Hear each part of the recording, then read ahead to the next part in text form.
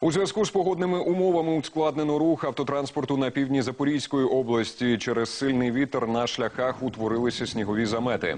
За останню добу у них застрягло понад 20 автомобілів. З них 4 вантажівки. Зі снігового полону їх звільняли 10 машин Держслужби з надзвичайних ситуацій і близько 30 рятувальників.